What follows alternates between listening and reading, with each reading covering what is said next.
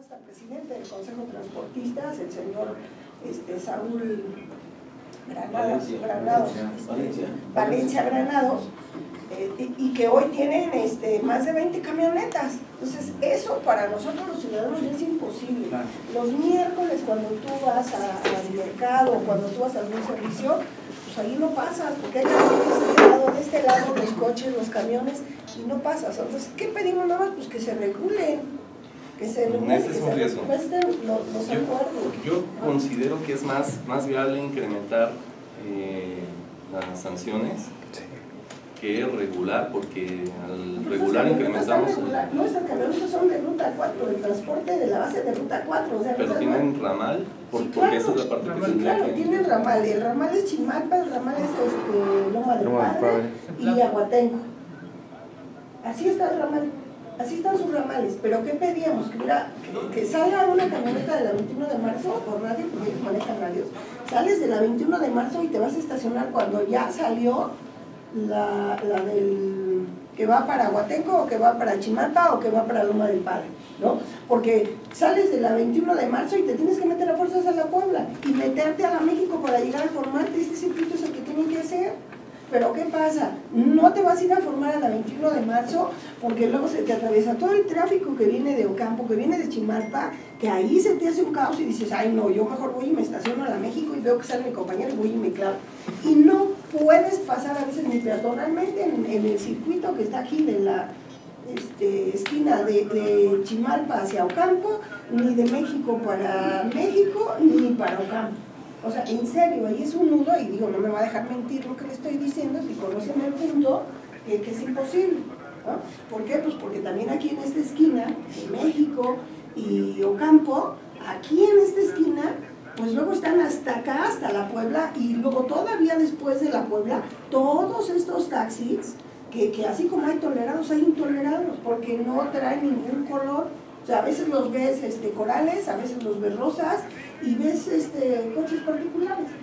Eso es lo que pedimos. A ver, si tú ya cor- otorgaste aquí una concesión, que es la que le comentaba mi compañera, de México y Ocampo, que era la base Electra que estaba de este lado sobre la México, la regularizaron aquí porque estaba de este lado frente a la panadería y nos quejamos porque todo esto era de taxistas y no podías hacer nada ni para llegar a comprar pan. Bueno, la regularizaron aquí, aquí las pusieron.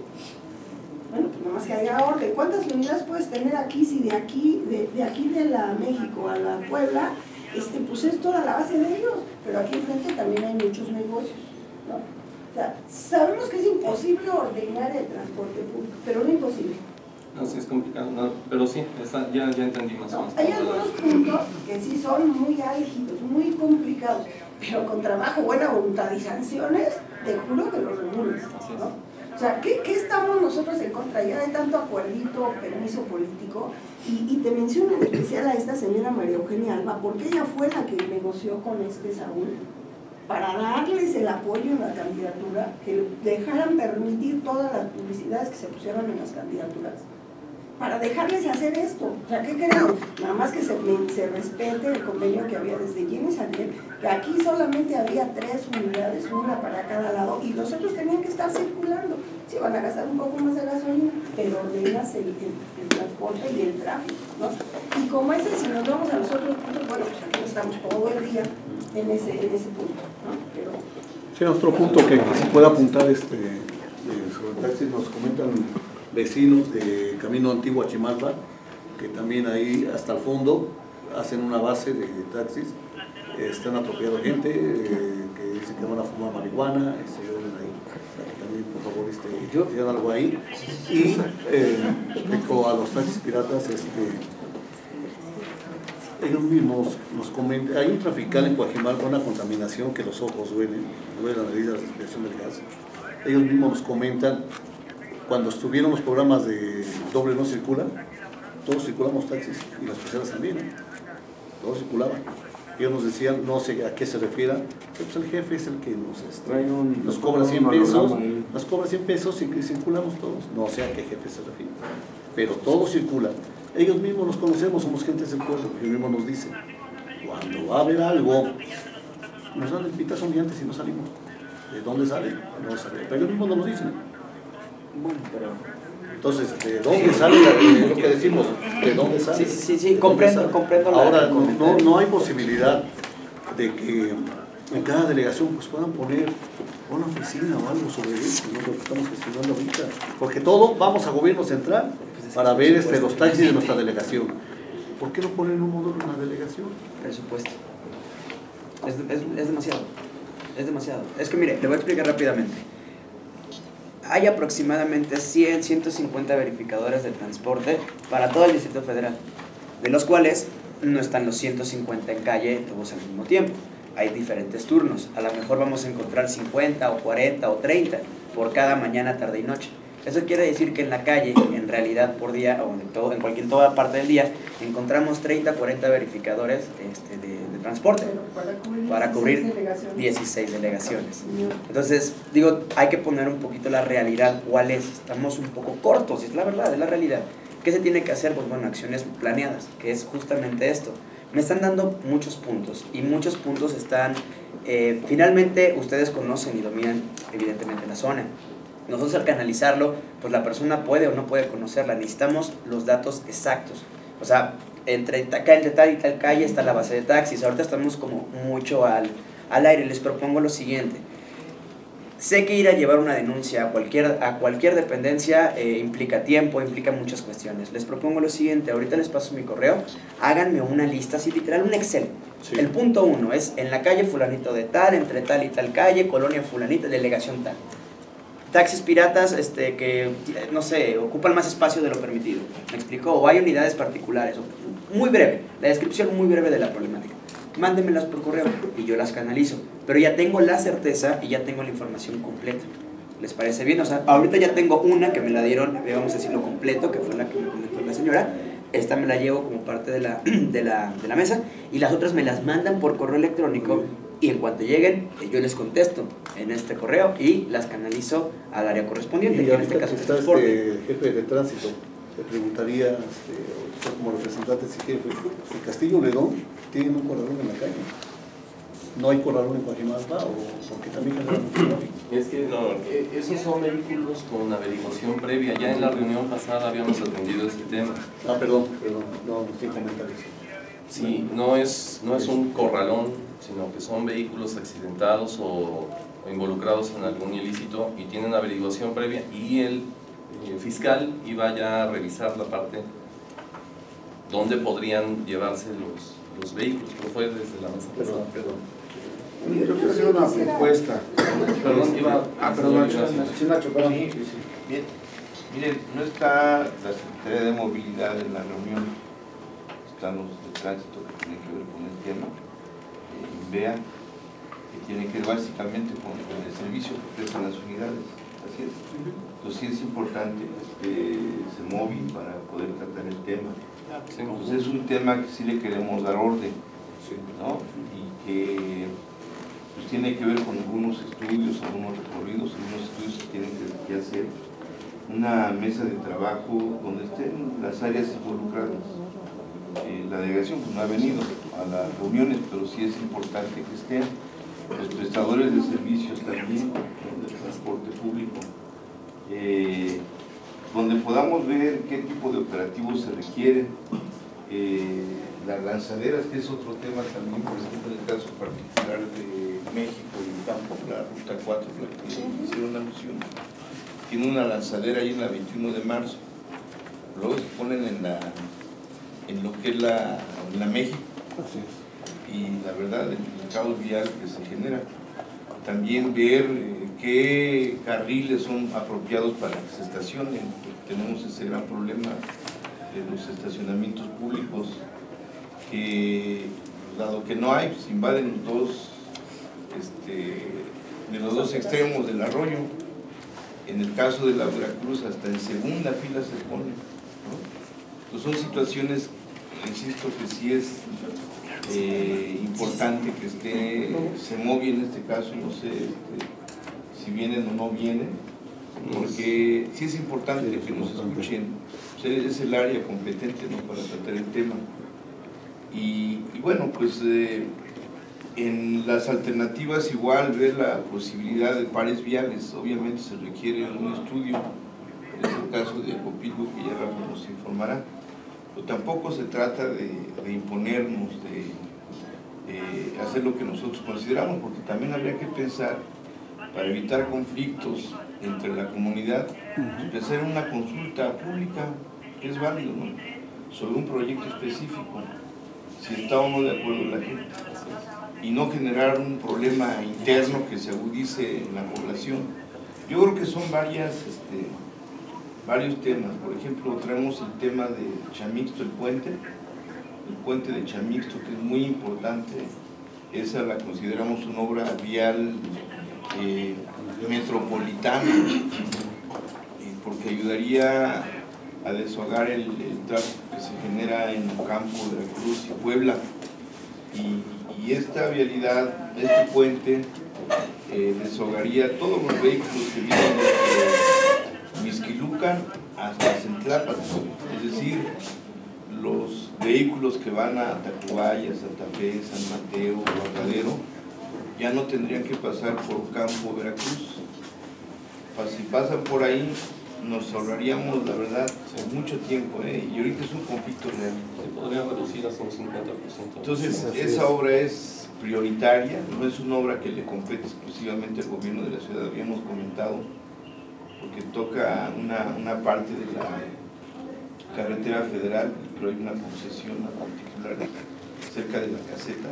Pues igual, instalar una mesa donde se ve el asunto y se busquen alternativas. En ese caso particular ya hay un proyecto ejecutivo que seguramente lo tienen en la delegación, pues hay que sacarlo y presentarlo, ponerlo en la mesa para buscar alternativas. Eh, la intención pues es eh, no solo cuestionar a la autoridad, sino también hacer propuestas específicas. Para eso, Felipe, este, eh, si nos presentas a los Sí, compañeros, este- traen un proyecto también. Les voy a presentar a los académicos de la Universidad Nacional Autónoma de México. Ellos son urbanistas, este, el joven Jared y el joven Miguel Ángel. Ellos ya tienen un proyecto de, sobre la cabecera, lo que es Coajimalpa Centro. Ellos ya nos hicieron favor eh, con algunos de sus profesores. Ya fueron, recorrieron la zona y ya nos presentaron algún proyecto. También no sé si este, en algún momento ustedes quieran que se los presente el futuro pueda servir para un avance. Como la cabecera, pues vamos a empezar eh, por ahí porque el tráfico es infernal en, en el centro de, de Coajimalpa. No sé si a futuro ustedes este, después quieren escuchar a los jóvenes para de ahí podemos desarrollar proyectos para los otros tres pueblos originarios y para las demás colonias. De, de hecho, ya hay, ya hay avances en ese sentido. Con la obra del deprimido de Carlos Echanove, eh, ya se está analizando el cambio de, de circulación en algunas de las calles a, a fin de poder eficientar la circulación y, y evitar el estancamiento que en un kilómetro de distancia tardaba hasta 45 minutos. Entonces ya, ya hay una mesa en la que se está, se está tocando el tema precisamente. Pero como dice don Ignacio, también es necesario consultar a Sí, claro, los claro, demás claro. vecinos porque en el caso específico de la colonia El Molino, pues hubo la consulta y en el recorrido asistieron pues, muchos de los, de los vecinos, los cuales emitían su opinión y decían, no, pues es que sabes que esta calle ya es insuficiente y hacia este lado no me deja salir, hay que cambiarla, aunque tengamos que rodear, pero prefiero circular 15 minutos y no tardarme estacionado hasta 45. Entonces ya va ese sentido, pero sí ya hay, ya, ya hay una, una, una apertura por parte tanto de CEMOVI, de Ingeniería de Tránsito y de la delegación para, para empezar a reordenar esta parte y dirigir el tránsito de una forma más eficiente. Bueno, bien, este, mi propuesta es, de, este, yo creo que sí pudiera darnos a- alternativas, este, dado que si se citaran para la próxima reunión, la mesa de trabajo, que sí estuviera CEMOVI, y, y en conjunto que estuvieran también los representantes de, de los ramales de la Ruta 4, de la Ruta 76 y Monte de las Cruces, para acordar este, un ordenamiento, una disciplina en cuanto a sus bases de, de, este, peceros o combis. o mini camiones, minibus, minibus, mini. Y yo pienso yo que pues, se pudiera avanzar con, tomando unos acuerdos con los respectivos representantes de, de las rutas, de todas las ramales, porque pues eh, Coajimalpa, como ya lo sabemos, es un caos vial. Eh, Ruta 4 en particular eh, agarra como base de, ahí en Lilas, dado que se les hizo una bahía, ahí en el frente del DINAP, eh, y, y no lo respetan, o sea, está vacío la vía y se estacionan sobre el, el arroyo vehicular de la México Toluca. ¿Sobre la carretera? de bajada. De subida, ya lo comentamos la pasada, para entrar a Lilas también ahí es un caos vial. Ahí no hay, no hay oficiales de tránsito en ambos lados. Y de igual forma también se hace un caos vial para entrar. Entonces tiene mucho el tráfico para entrar a, este, a Lilas y para se- seguir de frente a, hacia Toluca, hacia Cojimalpa. Y este, en, casi todo el día, principalmente en la tarde noche, eh, ahí en el Yaqui para entrar a San José de los Cedros, este, los transportes foráneos ahí hacen base, la flecha roja, obstruyendo el, eh, este, la, la- bahía de, de acceso y, y deceso de los pasajes, del pasaje, este, ascenso y descenso, perdón. Este, y los de los estos ramales, pues de igual forma hasta se estacionan y nada más dejan un solo carril de salida. Hace un, unos 15 20 días hubo un accidente muy Fatal. fatal ahí en, en esa parte del Yaqui por ese por ese por esa situación me parece que gusta de eso Sí, hubo sí. entonces este se estampa un vehículo atrás de un autobús digo no no autobús un este ¿Sí, un camión? o autobús no tengo bien el dato pero este eh, es eh, eh, queremos evitar eso queremos evitar los accidentes y sobre todo este, darle fluidez a las vialidades porque si, si no se toman medidas precautorias, ahí están los resultados, ahí están los accidentes. Entonces, ¿dónde están los, los este, oficiales de tránsito? En, en ningún lado los vemos. Bueno, en algunos lados. Pero, este, perdón, sí corrijo. Pero sí, este, sí es importante que, que, que para la próxima mesa de trabajo, si este se móvil, se citen a los, a los presidentes de las rutas, de todos los ramales de ahí de Cojima, para que este, sí haya un, una disciplina, un ordenamiento y hacer un, un convenio, un compromiso. Ok, ya, ya lo tengo Para- ir avanzando. Pero, pero aclaramos un punto. Ya habíamos comentado que a veces es insuficiente el personal, no solamente de INVEA, también en la Secretaría de Seguridad Pública, porque últimamente, desde enero a la fecha, hemos tenido siete marchas diariamente, in- inclusive en sábado, en domingo. Hemos tenido más de 32 bloqueos diariamente. Movilizar al personal para reducir la afectación vial eh, en Tezontle, por ejemplo, ayer. En la madrugada tuvimos otro por, por falta de energía eléctrica en Iztacalco. Es, es, es una, una población demasiado amplia, son, son 12 millones de ciudadanos nada más aquí en la ciudad y, y no, no es que no, no, es, no haya personal. Hemos estado trabajando con el Comité Ciudadano Lomas de Besares, esa parte en Linas. Pero es un programa integral porque necesitamos retirar comercio informal y ya llevamos adelantado. No podemos hacer actos de gobierno ya eh, arbitrarios en los que pasamos con la camioneta, subimos las... No, se está privilegiando el, el diálogo.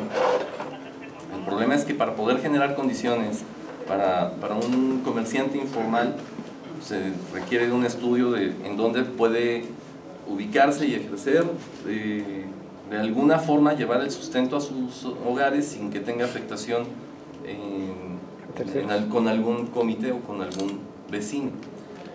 Es complicado, pero ya se está atendiendo. Es- ya, vam- ya vamos muy adelantados en las mesas de negociación con los líderes de los comerciantes, con programas delegacionales, con las delegaciones y va a haber una readecuación en Lilas. Los mismos ciudadanos rompieron un camellón, que es el contraflujo que sale de la, de la México-Toluca se incorpora antes de Lilas, para poderse regresar y evitar el tránsito de Lilas. Todo es presupuesto. Si estiramos de un lado, descobijamos del otro, y, estamos en, bu- buscando la alternativa para poder resolver esa parte. Primero, reparar la guarnición de ese camelloncito. La readecuación de la bahía de ascenso y descenso de Lilas. Pero no es esa toda la solución, sino que aparte los mismos ciudadanos, hay dos sitios de taxis que también van, es- estamos buscando eh, su retiro. Los mismos ciudadanos estacionan enfrente del que es un superama. Ah, no, de. Y nos reducen, nos ahorcan eh, esa vialidad a un carril. Entonces, poder, poder eh, agilizar el tránsito, hemos implementado ya personal con handgel, personal con grúas. Ha habido eh, jornadas con recorridos hasta de cada dos horas, cuando debería de poderse inhibir con la, con la, con la pura fotomulta pero no ha sido posible. ¿Por qué? La mayoría son eh, choferes, son escoltas de, de, alguien, pero se ha estado haciendo el, trabajo. Es cierto, eh, se requiere de, de mayor presión y, y- tal vez eh, incrementar las, la- los montos de las multas, porque a lo mejor no lo ven reflejado en los primeros dos meses, sino hasta que pretenden verificar y aparece la multa y no pueden verificar porque traen la multa. Entonces será un tanto paulatino el avance en ese sentido, pero se está, se está trabajando. Así como ustedes, eh, también hay más ciudadanos interesados en, en resolver la problemática que bien, viven en el día a día, pero el presupuesto ha sido insuficiente se- tiene que ejercer no solamente en Coajimalpa, también en Álvaro Obregón y en Miguel Hidalgo, que son, que son eh, demarcaciones vecinas y, y que también eh, Pues ojalá el gobierno se le ocurra ya no hacer tienen nada gratis. afectación en ese sentido. Pero sí se está... Y aquí en esta mesa, bueno, no en esta mesa, aquí mismo en la Dirección General de Conservación llevamos los temas. Entonces, la propuesta sí es esa, eh, convocar a los representantes de la Ruta 4, de la Ruta 76 y de Monte de las Cruces a CEMOVI y a la delegación para generar los acuerdos. Con, respecto a las bases de taxis, es un reordenamiento distinto y, se está buscando el mecanismo de sancionar eh, directamente a las placas que ya no pueda circular, no al conductor. No, no, no está funcionando esa... Pero si ni placas tienen. Dicen servicio en trámite. Ah, sí, placa bueno. en trámite. No todos, hay uh, varias excepciones, ¿no? Pero, eh, a ver, adelante. Mira, este, bueno, referente al tema de los taxis piratas, efectivamente yo creo que por ser vecinos de la delegación Coajimalpa, sabemos que sí hay una, una corrupción interna, una corrupción interna donde a cada vehículo se le está cobrando alrededor de 150 a 200 pesos por semana.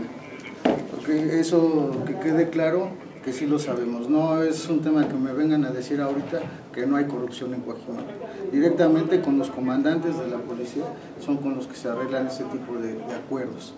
¿eh? Entonces sí sería importante, si ellos y conocemos quiénes son los que liderean estas bases de taxis, bueno, pues sí, de alguna manera este, hacer la denuncia pública para que por medio de, esa denuncia den cuentas, porque de nada sirve sancionar por medio de las placas, sancionar al vehículo, sancionar al conductor, si ellos mismos siguen permitiendo que sigan entrando más vehículos, más vehículos, más vehículos.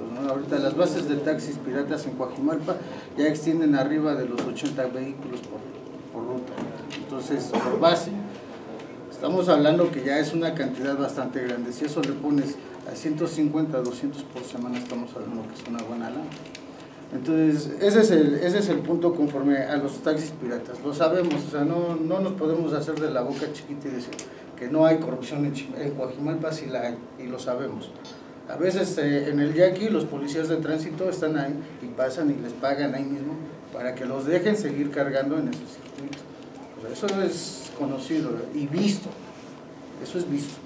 Ahora, en el tema de, de, este, de lo de Chamisto, eh, bueno, ahorita que está aquí eh, el licenciado, eh, nos dirá el proyecto que, tenían, que tenías, Nacho, este, creo que ya no se puede llevar a cabo.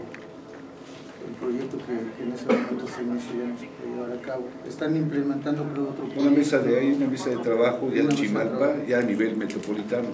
Si efectivamente en el tiempo de, del señor Ignacio Ruiz en su último año inició el proyecto de ese libramiento retornando a la Ciudad de México.